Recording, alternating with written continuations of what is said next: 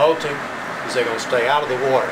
Now the gentoos can go from the bottom of this creek right here all the way to the top, diving. The macaronis have to come over here to the steps and kind of walk up the steps, then they can jump. Those gentoos, when they can swim, they don't turn on the nickel, they turn on the pinhead. I mean, they'll be this far from the end of the wall and they're going 20 miles an hour. Next thing you know, they're going the other